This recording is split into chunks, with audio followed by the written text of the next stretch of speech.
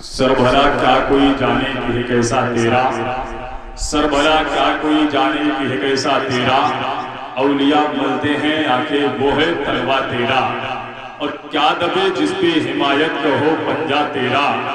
شیر کو خطرے میں لاتا نہیں کتا تیرا۔ اور تیری سرکار میں لاتا ہے رضا، اس کو شفیق۔ تیری سرکار میں لاتا ہے رضا، اس کو شفیق۔ جو میرا غوث ہے اور لاڈلا بیٹا تیرا، جو میرا غوث ہے اور لاڈلا بیٹا تیرا۔ آگے سے پیچھے تک، دائیں سے بائیں تک، جتنے بھی اتنے افراد بیٹھے ہیں، ایک مرتبہ نبی کے نام کے اپنے دونوں ہاتھوں کو آگے بول دے یا رسول اللہ۔ اور زور سے بولے زور سے بولے یا رسول اللہ۔ جتنے لوگ مدینہ شریف جانا چاہتے ہیں اور بلند آواز سے بول رہے ہیں، یا رسول اللہ اب ایک شعر میں پڑھتا ہوں آقا امام حسین کی بارگاہ میں۔ اگر بات آپ تک پہنچ جائے، آواز آپ تک پہنچ جائے، تو آپ جو ہے اپنے ہونے کا اظہار جو ہے، سبحان اللہ کی صورت میں اس طرح سے کیجیے کہ آپ کی آواز جو ہے یہاں تک آ جائے۔ اور سچ تو یہ ہے، قسم خدا کی، آپ سبحان اللہ بولیں یا نہ بولیں۔ آپ بولیں یا آپ ہاتھ اٹھا کر کے بولیں، یہ میری نظریں آپ کو دیکھ پائیں یا نہ دیکھ پائیں لیکن جن کا نام سن کر کے جو ہے، آپ یہاں بولیں گے میرے حسین کربلا سے آپ سے دیکھ رہے ہیں۔ ہے کہ نہیں؟ آپ یہاں ہیں تو بس اپنے ہونے کا احساس دلائیں۔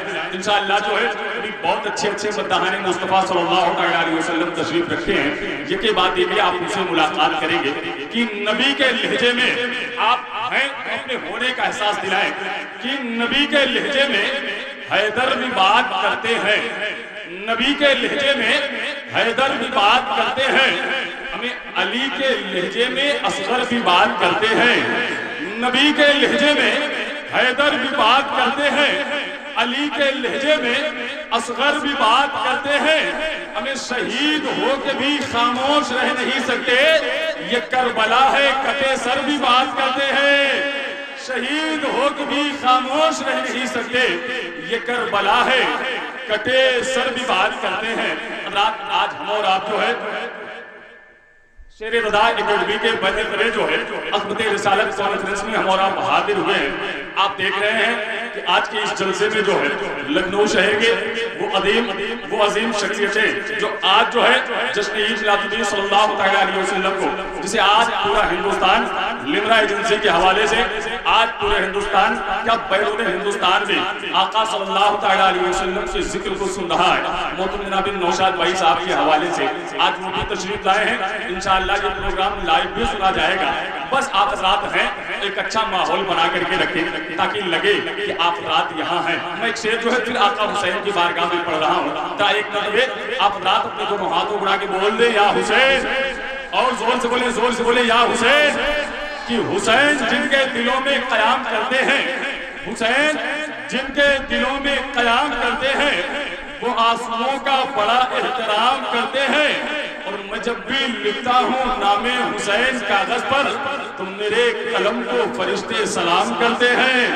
میں جب بھی لکھتا ہوں نام حسین کاغذ پر تو میرے قلم کو فرشتے سلام کرتے ہیں۔ حضرات کافی دیر سے آپ حضرات نعت و منقبت کے شعر کو سن رہے ہیں۔ میں جو ہے تھوڑی دیر کے لیے نعتیہ شاعری کا سلسلہ یہیں پہ منتوی کرتا ہوں اور آج اسی بینر کے حوالے سے جس بینر تلے ہم اور آپ یعنی عظمت رسالت کانفرنس میں حاضر ہوئے ہیں۔ اسی بینر کے حوالے سے کچھ قیمتی گفتگو کرنے کے لیے میں بلا تاخیر آباد دے رہا ہوں۔ خطیب اہل سنت حضرت علامہ محمد احمد صاحب قبلہ سے کہ میں ان سے گزارش کر رہا ہوں کہ مائک پہ تشریف لائیں اور اپنے بہترین خطاب سے آپ جسے سامعین کے سماعتوں کے زنگ کو صاف و صفاف آئینے میں تبدیل کر دیں۔ آئیے بلا تاخیر ان کا استقبال نعرہ تکبیر و نعرہ رسالت سے کر لیں۔ نعرہ تکبیر سب لوگ سب لوگ ایک ہاتھ جو ہے، آقا امام حسین کے نام پہ اٹھا دیں، دوسرا ہاتھ امام حساس حسن کے نام پہ اٹھا دیں تاکہ لگے کہ یہاں عاشق حسین بیٹھے ہیں۔ کہ نعرہ تکبیر نعرہ رسالت فیضان اعلی حضرات محافظان مسلک اعلی حضرات عظمت رسالت کانفرنس نعرہ تکبیر نعرہ رسالت آسموں کو شاہدی کا آستانہ چاہیے۔ یہ خدانہ ہر جگہ پر کیوں لٹانا چاہیے ایک مرتبہ بلند آواز سے درود پاک میں اللہ اللهم صل سيدنا محمد وبارك وسلم رسول الله عليه وسلم صلاة و سلام علیکم یا رسول اللہ صلی اللہ علیہ وسلم۔ برادران احترام ابھی میں نے خطب مسنونہ کے بعد جس آیت کریمہ کی تلاوت کرنے کا شرف حاصل کیا ہے۔ سبحان اللہ۔ آئیے اس پر کچھ روشنی ڈالنے سے قبل سب سے پہلے کلام الامام امام الکلام سرکار اعلیٰ حضرت عظیم البرکت مجدد دین و ملت کے چند اشعار سے نازل آئے سبحان اللہ سبحان اللہ۔ ہمارے درد کی کوئی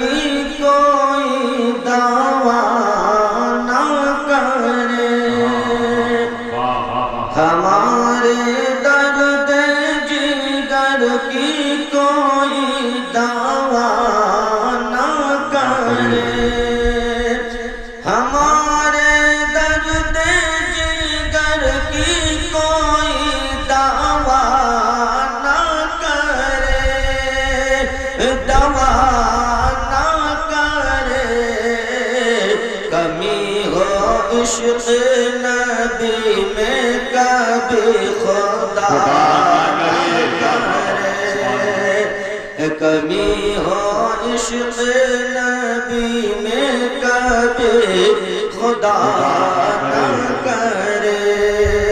اور نہیں روتا ہوں میں کچھ یاد آہو گلشن میں۔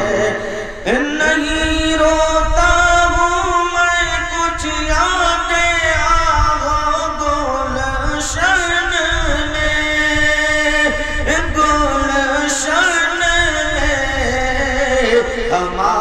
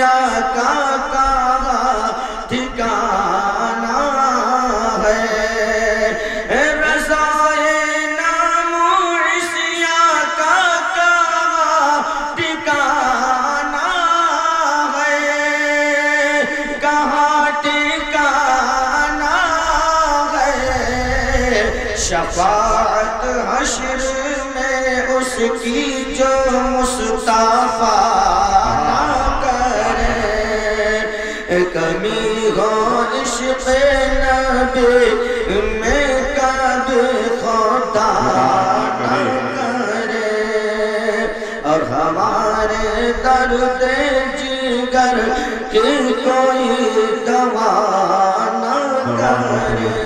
درود پاک اللہ اللهم مسلم صل على سيدنا مولانا سید مولانا محمد بن مالک جبل کرم ممبئی میں کوئی والی والی وسلم۔ سبحان اللہ۔ صلاۃ و سلام علیہ یا رسول اللہ صلی اللہ تعالی وسلم سبحان اللہ۔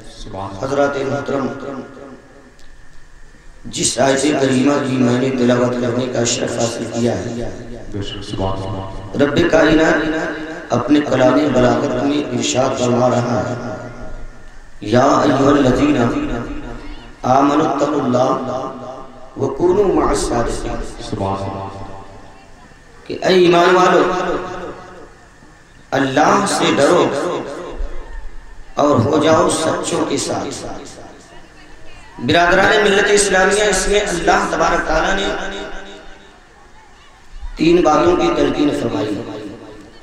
سب سے پہلا ذکر جو قرآن پاک میں آیا ہے، وہ ہے ایمان کے متعلق سے۔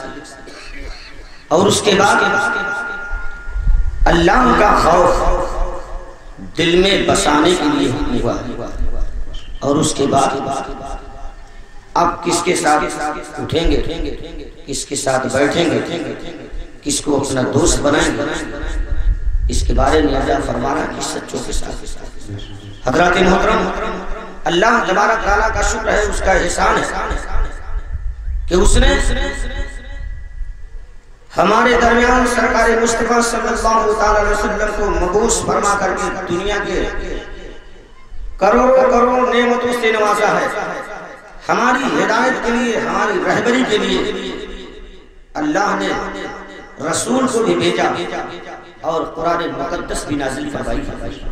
اللہ فرمانا یہ ایمان والو، اللہ سے ڈرو۔ حضرات محترم، ایمان ایمان ایک ایسا مضبوط قلعہ ہے کہ اگر انسان اس ایمان کو مضبوطی کے ساتھ پکڑے رہے گا، تو انشاءاللہ تعالی دنیا میں جتنی بھی نیکیاں وہ کرے گا، سارے کا سارا عجر میدان محشر میں نیکی کی شکل میں اس کے نام اعمال میں شکل میں پیش کیا جائے گا۔ اور اسی نیکی کے ذریعے سے انسان کل میدان محشر میں بخشش حاصل کر سکتا ہے۔ لیکن یاد رکھیے، اگر اسی ایمان میں گڑبڑی ہو گئی، اگر اس ایمان میں کمی ہو گئی، تو یاد رکھیے، آپ دنیا کے اندر جتنی نیکیاں کر رہے ہیں اور جتنے اچھے کام کریں گے، ایک بھی قابل قبول نہیں ہو سکتا ہے۔ اس لیے کہ آج اس دور میں دیکھا جائے تو مسلمان سارے لوگ انسان دعویٰ کرتا ہے کہ میں مومن مسلمان ہوں۔ ہر انسان یہ کہتا نظر آ رہا ہے کہ میں سنی مسلمان ہوں۔ میں جو ہے سرکار مصطفیٰ صلی اللہ علیہ وسلم کا عاشق ہوں۔ ان کا دیوانہ ہوں۔ لیکن جب اس کے قریب آپ جائیں گے، جب اس کے عادت و اتوار کو آپ دیکھیں گے، جب اس کے رہن سہن کو آپ دیکھیں گے، تو آپ کے دل میں یہ خیال پیدا ہوگا کہ یہ انسان تو کہتا ہے کہ میں پکا مومن ہوں۔ میں تو پکا مسلمان ہوں، لیکن اس کے چہرے سے ظاہر نہیں ہوتا ہے کہ یہ حقیقت میں مسلمان ہے۔ اس کے پہناوے سے یہ پتہ نہیں چل رہا ہے کہ حقیقت میں یہ مسلمان ہے۔ اس کے عادت و اتوار سے یہ ظاہر نہیں ہو رہا ہے کہ یہ مسلمان ہے۔ حضرات محترم، مسلمان کے قریب جب ایک مسلمان ہوتا ہے، پرہیز انسان، پرہیزگار انسان ہوتا ہے، تب اس کے دل میں یہ خیال پیدا ہو جاتا ہے۔ یہ زبانی دعویٰ کر رہا ہے کہ یہ مسلمان ہے۔ زبانی یہ دعویٰ کرتا ہے کہ میں عشق رسول ہوں۔ حضرات محترم، اللہ کے رسول سرور کونین صلی اللہ علیہ وسلم کے نقش قدم پر چلنے کا مقصد یہ نہیں ہے کہ آپ جو ہے زبانی صرف یہ کہیں کہ میں سرور کونین صلی اللہ علیہ وسلم کے نقش قدم پر گامزن ہوں۔ لیکن اگر مسجدوں سے اذان کی آواز آئے تو آپ اپنے گھروں کے اندر جو ہے، اس طرح اپنے گھروں کے اندر آرام فرما ہو، اپنے بستر پر استراحت کر رہے ہو۔ حضرات محترم، اللہ کے رسول سرور کونین صلی اللہ علیہ وسلم کا جو دیوانہ ہوگا، جو عاشق ہوگا، جو حقیقت میں مسلمان ہوگا، وہ مسجدوں سے اذان سننے کے بعد اپنے گھر کے اندر بیٹھ نہیں سکتا ہے۔ مسجد کی طرف وہ ضرور قدم بڑھائے گا۔ حضرات محترم، اور اس کے اگر شکل و سباحت کو دیکھا جائے، تو شکل و سباحت سے بھی پتہ نہیں چلتا ہے، اس کے کردار سے بھی نہیں پتہ چل رہا ہے۔ آج آپ جو ہے، ایسے مسلمانوں کا جائزہ لیجیے، جن کے چہرے سے ظاہر نہیں ہو رہا ہے کہ مسلمان ہے۔ ہاں اگر وہ آپ کو سلام کرے، تو آپ سمجھ جائیں گے کہ ہاں یہ مسلمان ہے۔ ورنہ چہرے سے ثابت نہیں ہو رہا ہے کہ مسلمان ہے۔ ارادرار ملت اسلامیہ۔ تو اس سے ان تمام چیزوں سے جو ظاہر ہو رہا ہے کہ مسلمان حقیقت میں ہے کون اور مسلمان بننے بننے کا، بننے کے قابل اور اس کے لائق کون ایسا انسان ہے؟ تو حضرات محترم، جب آپ سچے، پکے حقیقت میں مسلمان کو دیکھیں گے تو قسم خدا کی آپ کا دل باغ باغ ہو جائے گا۔ اس کے چہرے پر جو ہے سرور کونین صلی اللہ علیہ وسلم کے مبارک سنت نظر آئیں گے۔ یعنی وہ انسان جو ہے اپنے چہرے کو سجائے گا داڑھیوں سے اور جو ہے اپنے لباس کو سنت کے طور طریقے سے استعمال کرے گا۔ برادران ملت اسلامیہ، ان ساری چیزوں سے جب انسان کے ایمان کا پتہ نہیں چلتا ہے تو ظاہر سی بات ہے کہ آدمی نہ تو قبر میں کامیاب ہوگا اور نہ تو حشر میں کامیاب ہوگا۔ ایمان بہت ہی بڑی نعمت ہے۔ ایمان کی حفاظت ہمارا اور آپ کا فریضہ ہے۔ آج ہم جو ہے، اس دور میں، دولت کے چکر میں اور کہیں جو ہے، حکومت کے چکر میں، کہیں شہرت کے چکر میں اپنے ایمان کو بیچتے نظر آ رہے ہیں۔ اپنے ایمان کو فروخت کرتے نظر آ رہے ہیں۔ اے مسلمانوں، آپ نے صحابہ کرام کے دور کو اگرچہ اپنے بظاہر آنکھوں سے دیکھا نہیں ہے، تو ان کی تاریخ تو آپ نے ضرور پڑھی ہے اور اگر پڑھی نہیں ہے، تو ضرور جو ہے علماء کرام کے زبان سے سنا ہے کہ وہ کیسے صحابی رسول تھے، وہ کیسے مسلمان تھے، کہ وہ جو ہے سرور کونین صلی اللہ علیہ وسلم کے اس مقدس مذہب پر جو ہے اپنی دولت کو نثار کرتے تھے، اپنے بچوں کو قربان کر دیتے تھے، گھر بار کو جلا کر کے خاکستر کروا دیتے تھے دشمنوں سے، اور اپنی جان بھی قربان کر دیتے تھے۔ لیکن وہ اپنے ایمان کی حفاظت کیا کرتے تھے؟ برادران ملت اسلامیہ، آج ہم اور آپ جو ہے، ایک دوسرے سے سن کر کے یہ جانتے ہیں کہ ایمان بہت ہی جو ہے مستحکم اور بہترین چیز ہے۔ ایمان جو ہے نعمت عظمہ ہے۔ برادران ملت اسلامیہ، ہم نے سرور کونین صلی اللہ تعالی علیہ وسلم کی بظاہر زیارت نہیں کی ہے۔ ہم صرف سن کر کے ہر بات پر ایمان لاتے ہیں۔ قرآن پاک پر ایمان ہم نے سن کر کے لایا ہے۔ اور جو ہے، اللہ تبارک تعالیٰ کی ذات پر ہم نے جو ہے سن کر کے ایمان لایا ہے۔ جنت و دوزخ کو ہم نے دیکھا نہیں ہے، لیکن ہمارا ایمان یہ ہے کہ جو ہے جنت و دوزخ حق ہے۔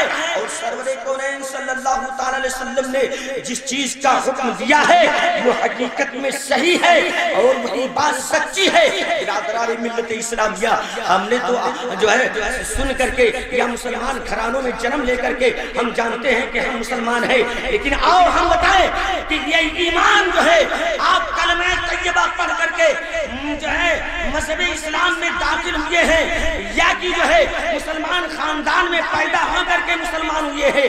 اس پر اور اللہ اس کے رسول پر ایمان لائے ہیں۔ آؤ دیکھو بے اول حمیری کا زمانہ ہے۔ بہت ہی زبردست جو ہے بادشاہ ہے اور بہت ہی جلال بادشاہ ہے۔ اس کا طور طریقہ کیا تھا؟ اس کا طور طریقہ یہ تھا کہ وہ جس گلی سے گزرتا تھا، جس شہر کا دورہ کرتا تھا، اگر اس شہر کے لوگ جو ہے آ کر کے اس کے راستے میں پھول اور ہار نہیں بچھاتے تھے، اس کے گلے میں پھولوں کا ہار نہیں نہیں ڈالتے تھے، اس کا استقبال نہیں کرتے تھے، تو شہروں کو تباہ کر دیتا تھا، شہروں کو برباد کر دیا کرتا تھا۔ برادران ملت اسلامیہ، یہی طب اول حمیری ہے۔ ایک مرتبہ یہ اپنے قافلہ کو لے کر کے جو ہے، سرور کونین صلی اللہ علیہ وسلم کے اس مقدس سرزمین پر اللہ تبارک تعالیٰ نے جس جگہ پر خانے کعبہ کو نصب فرمایا ہے، جس جگہ پر خانے کعبہ کو بنایا ہے، جب جو ہے، یہ مکے کے لیے نکلا۔ اور اپنے قافلے والوں کے ساتھ جب مکے کی طرف سفر کیا اور عرب کی سرزمین پر پہنچا ہے، تو جانتے ہیں وہاں سے کوئی بھی انسان اس کے استقبال میں نہیں نکلا اور نہ ہی اس کے راستے میں پھول ہار ڈالے گئے اور نہ ہی جو ہے اس کا ادب و احترام کیا گیا۔ تو جانتے ہیں اس نے اپنے دل کے اندر عہد کر لیا کہ میں اس شہر کو تباہ و برباد کر دوں گا، میں اس شہر کو ختم کر دوں گا۔ برادران ملت اسلامیہ مشیت الہی دیکھیے، اللہ تبارک تعالیٰ جو ہے، جس زمین کی حفاظت کرنا چاہتا ہے، جانتے ہیں، اس انسان کو جو ہے، ایسے مرض میں یا ایسے پڑاؤں میں مبتلا کر دیا کرتا ہے کہ اس کا مقدس گھر اور اس کا شہر محفوظ ہو جایا کرتا ہے۔ حضرات محترم طب اول حمیری کے جسم میں جو ہے، ایسی بیماری پروردگار عالم نے ڈال دیا کہ اب وہ پریشان ہو گیا اور جو ہے، وہ علاج کروانا شروع کر دیا۔ بڑے بڑے طبا اور بڑے بڑے طبیب اور حکیم سب فیل ہو جاتے ہیں۔ کوئی دوا کارگر نہیں ہو رہی ہے۔ ایک مرتبہ اس نے جو ہے تمام لوگوں کو اکٹھا کیا اور اکٹھا کرنے کے بعد پھر پوچھا کہ لوگوں میرے جسم کے اندر کون سا ایسا مرض آ گیا ہے جس سے مجھے یہ فاقہ نہیں مل رہا ہے؟ تم لوگ مشورہ دو یا کوئی بہترین حکیم یا طبیب بتاؤ؟ حضرات محترم، ایک ضعیف العمر انسان بیٹھا ہوا تھا۔ اس نے کہا، بادشاہ سلامت، اگر میری جان بخشی جائے تو میں جو ہے کچھ عرض کرنا چاہتا ہوں۔ تو جانتے ہیں، تم اول حمیر حمیدی نے کہا، کہو، تمہاری جان بخشی جا رہی ہے۔ کہو، تمہیں معافی کا پروانہ دیا جا رہا ہے۔ حضرات محترم، ضعیف العمر انسان کھڑا ہوا اور کھڑا ہونے کے بعد جو ہے کہا، حضور، مجھے ایسا لگتا ہے کہ بادشاہ سلامت کے دل و دماغ میں کوئی ایسی بات گزری ہے جو بات اللہ کے کائنات کو خراب لگ گئی ہے، جس سے وہ ناراض ہو کر کے آپ کے جسم میں ایسے مرض کو ڈال دیا ہے۔ یہ جو ہے، تمہارے ساتھ کے طبیعت طبیب کیا ہے؟ یہ تمہارے حکیم کیا ہے؟ دنیا کا کوئی بھی حکیم تمہیں کامیابی کی منزل پر نہیں پہنچا سکتا ہے اور یاد رکھو، تمہیں شفا نہیں مل سکتی ہے۔ تب تک، جب تک تم اس کی بارگاہ میں توبہ کر کے رب کائنات سے معافی نہیں مانگو گے۔ برادرانی ملت اسلامیہ اس نے اپنا سر نیچا کر لیا اور سر نیچے کرنے کے بعد رب کائنات کی بارگاہ میں عرض کیا، اے پروردگار عالم، میرے دل کے اندر تو یہی بات گزری تھی کہ میں خانہ کعبہ کو تباہ و برباد برباد کر دوں گا، اس شہر کو ختم کر دوں گا۔ لہذا میں نے غلط سوچا، اے رب کائنات، تو مجھے شفا دے دے اور مجھے اچھا کر دے۔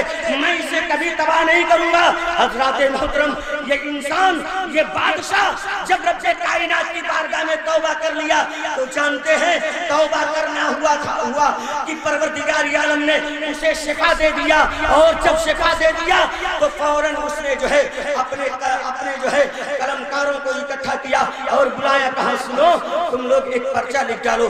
تم لوگ جو ہے تحریر لکھو اور اس تحریر کو محفوظ رکھنا۔ برادران ملت اسلامیہ، تحریر لکھوانا شروع کیا اور اس میں تحریر میں لکھا گیا تھا۔ اس میں لکھا یہ گیا تھا کہ، اے پروردگار عالم، میں تیرے اس رسول پر ایمان لا رہا ہوں۔ جو جو ہے تمام نبیوں سے، تمام نبیوں کے آخر میں پیدا ہوگا اور جسے تو آخری پیغمبر بنا کر کے بھیجے گا۔ میں اس پر ایمان لا رہا ہوں۔ جو کتاب اسے اسے تو گا، میں اس کتاب پر بھی ایمان لا رہا ہوں۔ اے پروردگار عالم میرے اس ایمان کو جو ہے تو قبول فرما لے۔ میں اس رسول ہاشمی صلی اللہ علیہ وسلم پر ایمان لا رہا ہوں۔ جو کلمہ اس کا ہوگا، میں اس کلمے پر بھی ایمان لاتا ہوں۔ حضرات محترم، تحریر لکھ دی گئی۔ طب اول حمیری نے کہا، اس کو محفوظ رکھا جائے۔ اور جب جو ہے مرنے والا مرنے لگے، تو اپنی اولاد کو جو ہے، وہ یہ وصیت کر دے کہ یہ پرچہ وہ جو ہے محفوظ رکھے گا، وہ اپنی اولاد کو دے گا۔ قرض کی وہ زمانہ آیا کہ جب اللہ کے پیارے پیغمبر پیغمبر سرور کونین صلی اللہ علیہ وسلم مکے کی سرزمین پر جلوہ فرما ہوئے۔ اور جب آپ نے جو ہے مکے کی سرزمین پر قدم جلوہ فرما ہوئے اور اس کے بعد جب جو ہے آپ کو اہل مکہ نے ستانا شروع کیا، آپ کو اہل مکہ نے پریشان کرنا شروع کر دیا، تو اللہ تبارک تعالیٰ کا حکم ہوا کہ میرے پیارے پیغمبر، آپ یہاں سے ہجرت کر جائیے، مدینہ تشریف لے جائیے۔ برادران ملت اسلامیہ، آقا دو عالم صلی اللہ علیہ وسلم مکے کی سرزمین سے ہجرت کرتے ہیں اور پہنچتے ہیں مدینے کی سرزمین پر تو وہاں لوگ خوشیاں منا رہے تھے چھوٹی چھوٹی بچیاں تب بجا رہی تھی اور جو ہے وہ خوشی کے نغمے گا رہی تھی۔ حضرات محترم، ہر انسان سے عمر اسلام کے راستے کو دیکھ رہا تھا۔ میرے پیارے آقا، سرور کونین صلی اللہ علیہ وسلم مدینے کی سرزمین پر جب قدم رکھتے ہیں تو بریلی کے تاجدار حضرت اعلی حضرت عظیم البرکت مجدد دین و ملت ارشاد فرماتے ہیں کہ دید نقش سم کو نکلی سات پردوں سے نگاہ دید نقش سم کو نکلی سات پردوں سے نگاہ اور پتلیاں بولی، چلو آیا تماشا نور کا۔ پتلیاں بولی چلو آیا تماشا۔ نعرے تکبیر نعرے رسالت عظمت رسالت کانفرنس نعرے تکبیر نعرے رسالت۔ آقائد عالم صلی اللہ تعالی علیہ وسلم جب مدینے کی سرزمین پر تشریف لے جاتے ہیں ہر جانسار صحابی کہہ رہا ہے یا رسول اللہ میرے یہاں آپ تشریف لے چلیے۔ یا رسول اللہ میرے یہاں قیام فرمائیے، حضرات محترم، ہر دیوانہ، ہر عاشق اونٹنی کے مہار کو پکڑ کر کے یہ کہہ رہا ہے، اے اللہ کے پیارے پیغمبر، سرور کونین صلی اللہ تعالی علیہ وسلم، میرے یہاں آپ تشریف لے چلیے۔ میرے آقا سرور کونین صلی اللہ تعالی علیہ وسلم نے جب یہ دیکھا کہ ہر عاشق میرے اونٹنی کے مہار کو پکڑ کر کے اپنی طرف کھینچ رہا ہے، آقا عالم صلی اللہ تعالی علیہ وسلم ارشاد فرماتے ہیں، اے لوگو، میرے اونٹنی کے مہار کو چھوڑ دو، میری اونٹنی جہاں جا کر کے بیٹھ جائے گی، اسی جگہ پر میرا قیام ہوگا۔ حضرات محترم، تاریخ بیان کر رہا ہوں۔ جس کو سننے کے بعد آپ کے دل میں یہ خیال پیدا ہوگا کہ سرور کونین صلی اللہ تعالی علیہ وسلم کی ذات کیا تھی۔ رب کائنات نے ان کو کتنا افضل و اعلیٰ بنایا تھا۔ اونٹنی کا مہار چھوڑ دیا گیا ہے اور اونٹنی چلی جا رہی ہے۔ چلتے چلتے اونٹنی جو ہے، حضرت ابو ایوب انصاری کے دروازے پر بیٹھ جاتی ہے۔ اور جب حضرت ابو ایوب انصاری کے دروازے پر بیٹھی، تو آقا عالم صلی اللہ علیہ وسلم وہیں پر قیام پذیر ہو جاتے ہیں۔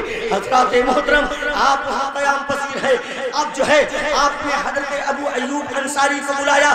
ابو ایوب انصاری جب آئے، تو میرے پیارے آقا کا سرور کونین صلی اللہ تعالی علیہ وسلم نے حضرت ابو ایوب انصاری سے فرمایا، اے ابو ایوب انصاری، جو ایک ہزار میری پیدائش سے، جو ایک ہزار سال پہلے سے پرچہ تمہاری نسل میں آ رہا ہے، وہ پرچہ کہاں ہے؟ برادران ملت اسلامیہ، غیب جاننے والا نبی غیب بتانے والا نبی اور جو ہے اس طریقے سے گفتگو کر رہا ہے۔ اے ابو ایوب انصاری، اس پرچے کو میری بارگاہ میں پیش کیا جائے۔ حضرت ابو ایوب انصاری عرض کرتے ہیں، یا رسول اللہ، یہ راز تو میں جانتا ہوں، یا پروردگار عالم جانتا ہے، لیکن آپ نے اس راز کو کیسے جان لیا؟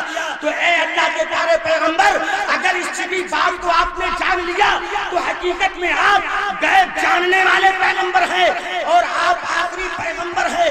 برادران ملت اسلامیہ سرور کونین صلی اللہ تعالی علیہ وسلم کے مقدس بارگاہ میں اس پرچے کو پیش کیا گیا۔ اب سوال یہ پیدا ہوتا ہے، کیا اونٹنی حضرت ابو ایوب انصاری کے دروازے ہی پر بیٹھنا تھا اس کو؟ وہ اور کسی صحابی کے دروازے پر جا کر کے بیٹھ جاتی۔ آخر وہیں جا کر کے کیوں بیٹھی؟ حضرات محترم جانتے ہیں۔ اونٹنی کو یہ پتا تھا کہ میرے پیغمبر کا جو ہے، آیا ہوا پرچہ ابو ایوب انصاری کے گھر کے اندر موجود ہے۔ لہذا اونٹنی جا کر کے وہیں بیٹھ جاتی ہے۔ جب پرچہ پیش کیا گیا، پیغمبر اسلام صلی اللہ علیہ وسلم نے اس کو پڑھا اور پڑھنے کے بعد کہا پروردگار عالم اس کے ایمان لانے کو جو ہے میں قبول کرتا ہوں۔ اور تو بھی اسے قبول فرما لے۔ تو حضرات محترم، پتہ یہ چلا کہ ہم اگر مسلمان خاندان میں پیدا ہوئے، تب ہم جانتے ہیں کہ ایمان لانا بہت ضروری ہے۔ یا ہم نے کسی سے اس کی حقیقت سمجھی؟ تب ہم جانتے ہیں کہ ہاں جو ہے، ایمان اور مذہب اسلام میں داخل ہونا ضروری ہے۔ لیکن یاد رکھیے، پیغمبر اسلام کا وجود نہیں تھا۔ اللہ کے پیارے پیغمبر سرور کونین صلی اللہ تعالی علیہ وسلم اس دنیا گیتی پر تشریف نہیں لائے تھے۔ البتہ پروردگار عالم کے قرب خاص میں جلوہ فرما تھے۔ لیکن ایک ہزار سال پہلے تو بے اول حمیری جیسا بادشاہ جو ہے، کلمہ طیبہ پڑھ کر کے سرور کونین صلی اللہ تعالی علیہ وسلم پر ایمان لے آتا ہے۔ اب پروردگار عالم فرما رہا اتق اللہ، میرے دل کو، میرے میرے جو ہے خوف کو اور میرے خشیت کو اپنے دل کے اندر بسا کے رکھو۔ حضرات محترم، اللہ فرما رہا ہے کہ میرا خوف تمہارے دل کے اندر ہونا چاہیے، باقی دنیا کا کوئی خوف نہیں ہونا چاہیے۔ اور یاد رکھیے، خوف بھی دو طریقہ کا ہوتا ہے۔ ایک خوف جو ہے، یہ دنیا دنیا کا خوف ہوتا ہے۔ ایک خوف پروردگار عالم کا ہوتا ہے۔ یاد رکھیے، دنیا کا خوف جو ہے، یہ مصر ہے یہ نقصان پہنچاتی ہے، لیکن اللہ تبارک تعالیٰ کا خوف جو ہے، یہ دنیا میں بھی کامیاب ہے اور آخرت میں بھی کامیاب ہے۔ جس نے خدا کا خوف اپنے دل کے اندر بسایا جانتے ہیں، اس کی مثال ایسی ہے، جیسے زمین پر پانی جو ہے، اپنے ہڈی اپنے جو ہے، اصل میں ملنا چاہتی ہے۔ تو کبھی وہ نالی میں بہتی ہے، کبھی وہ جو ہے، ہمارے گھر سے بوندے بن کر کے چپکتی ہے، کبھی بارش بارش کی بوندی بن کر کے جو ہے زمین پر برستی ہے، یہی پانی کبھی جو ہے نالے کا روپ اختیار کرتی ہے، یہی پانی کبھی دریا بن جاتی ہے۔ لیکن یہی پانی جب جا کر کے جو ہے سمندر سے مل جاتی ہے، تو جانتے ہیں اپنے اصلی مقام پر پہنچنے کے بعد وہ ٹھہر جاتی ہے۔ اب وہ بہتی رہی ہے، اب وہ چلتی رہی ہے۔ اس لیے کہ اس کا مین مقصد یہ تھا کہ وہ سمندر سے جا کر کے مل جائے۔ تو حضرات محترم پانی کو سے کم نہ سمجھو۔ سمجھو پانی بہت بڑی نعمت ہے اور پانی کی ادب، پانی کا جو ہے لحاظ کیا کرو۔ اس لیے کہ پانی حضور اگر آپ خرچ کر رہے ہیں، تو یاد رکھیے، اس کا حساب دینا پڑے گا۔ پانی ایک ایسی نعمت ہے کہ پانی کے بغیر آپ زندہ نہیں رکھ سکتے۔ جانتے ہیں، رحیم نے کہا ہے کہ رحمن پانی روکیے، بن پانی سب سون اور پانی گئے نہ ابرے موتی مانس چون۔ کہ لوگوں پانی کی تو وہ طاقت ہے۔ اگر کسی کے مرد کے اندر، اگر جو ہے مردانگی کی پانی نہیں ہے، تو وہ مرد بیکار ہے اور پانی اگر جو ہے چونے سے نکل جائے اور خشک ہو جائے چونا، تو چونا بیکار ہے۔ وہی پانی جو ہے، اگر سمندر میں گر کر کے، اگر سیپ کے منہ میں نہ جائے، تو موتی نہیں بن سکتا ہے۔ اور ایک بات میں اور آپ کو بتاؤں، جرنل نالج میں آپ کو بتا دوں کہ یہ پانی کی حقیقت کیا ہے اور پانی کیسے کیسے مرتبے کو حاصل کرتی ہے۔ یہی سیواتی کا پانی۔ ہندی میں ایک نقد لگتا ہے، سیواتی۔ اور سیواتی کا بوند جو ہوتا ہے، بہت ہی قیمتی ہوتا ہے۔ اب میں بتاؤں کہ وہ کتنی قیمتی پانی ہے اور کتنا قیمتی بوند ہے۔ حضرات محترم، اب جو ہے، اطباء اور جو ہے، بڑے بڑے دانشور بتاتے ہیں کہ یہی سیواتی کا بوند جب ہے، اس کا نقد جب لگتا ہے سمندر کے اندر سیپ جو ہے، اپنے منہ کو کھول کر کے رکھتے ہیں۔ اور جب یہ پانی ان کے پیٹ میں جاتا ہے، تو وہ اپنے منہ کو بند کر لیتے ہیں۔ تب جا کر کے موتی بنتا ہے۔ یہی پانی ہے کہ جب یہ ہاتھی کے کان میں جا کر کے گرتا ہے کہاں ہاتھی کے کان میں چلا جاتا ہے، تب جا کر کے گزمکتا بنتا ہے۔ یہی پانی جب گائے کے کان میں جا کر کے یہ جو ہے براجمان ہوتا ہے، تب جا کر کے گو لوچن بنتا ہے۔ یہی پانی بانس کے کریل میں اگر پڑ جائے تو جانتے ہیں بانس میں پنچ لوچن پیدا ہوتا ہے۔ یہی پانی جو ہے، اس پانی کو کم نہ سمجھو۔ اور آپ ایک بات اور جان لیجیے، ایک ایسی چڑیا ہے جو کبھی جو ہے آپس میں جوڑ نہیں کھاتے ہم بستر نہیں ہوتے ہیں، اسی پانی کا انتظار کرتے ہیں۔ کوئل ایک ایسی چڑیا ہے، اسی نقد کا انتظار کرتی ہے۔ اور جب اس کے منہ کے اندر جو ہے یہ پانی کا قطرہ گرتا ہے، پھر یہ جا کر کے انڈے دیتی ہے۔ تو پانی کو کم نہ سمجھو، اسی لیے کہا ہے ہے کہ رحمن پانی ڈاکیے بن پانی سب سون اور پانی گئے نہ ابرے موتی مانی چون۔ میں آپ کو بتا رہا تھا کہ پانی اپنے اصل میں ملنے کے لیے بیقرار تھی، پریشانی کے عالم میں تھا۔ حضرات محترم، کبھی نالی کے شکل میں، کبھی نالے کے شکل میں، کبھی دریا کے شکل میں۔ اور جب جا کر کے یہ سمندر سے ملا تو اس کو سکون آ گیا۔ بلا تنزیل، جس بزرگ کے مزار پر جو ہے اور ان کے آستانے کے قریب آپ بیٹھے ہوئے ہیں، بلا تنزیل یہ وہ اللہ کے برگزیدہ بندے ہیں۔ رب کی قربیت کو حاصل کرنے کے لیے، پروردگار عالم کی خوشنودی حاصل کرنے کے لیے کبھی رات رات نفلیں پڑھتے ہیں، کبھی قرآن کی تلاوت کرتے ہیں اور کبھی ذکر و اذکار کرتے ہیں۔ کبھی قیام میں ہوتے ہیں، کبھی سجدے میں ہوتے ہیں۔ چلتے پھرتے ان کی زبان جو ہے ہمیشہ خدا کی تسبیح بیان کر رہی ہے، اس کی تسبیح پڑھ رہی ہے۔ کیوں پڑھ رہی ہے؟ اس لیے کہ اپنے رب حقیقی کی بارگاہ میں یہ جانا چاہتے ہیں۔ اور یاد رکھیے جب ان کی قربیت پر پروردگار عالم کی مقدس بارگاہ میں ہو جاتی ہے، تب اب یہ جو ہے، شہروں سے پوچھ کر دیتے ہیں، گاؤں سے نکل جاتے ہیں، جنگلوں کی طرف چلے جاتے ہیں۔ چلتے چلتے جب نظر آ رہے ہیں اور لوگ دیکھ رہے ہیں تو کہہ رہے ہیں کہ پاگل ہو گیا ہے، یہ دیوانہ ہو گیا ہے، اس کی اصل خراب ہو گئی ہے۔ لیکن حقیقت یہ ہے کہ اس نے جو ہے رب حقیقی کی بارگاہ کو حاصل کر لیا ہے۔ اب دنیا کے مجالس کو اور دنیا کے مجمع میں بیٹھنا وہ اچھا نہیں سمجھ رہا۔ ہے۔ اس لیے کہ جس کے لیے وہ رات دن بے قرار تھا، بے چین تھا، حقیقت میں اس نے اس کی خوشنودی کو حاصل کر لیا ہے۔ اب اسے دنیا سے کوئی مطلب نہیں ہے۔ اب دنیا والوں سے کوئی پر مطلب نہیں ہے۔ اور نہ تو اسے کوئی پرواہ ہے۔ جان رہے یا چلی جائے، کھانے کو ملے نہ ملے، اس سے کوئی مطلب نہیں ہے۔ ان کی غذا کیا ہے؟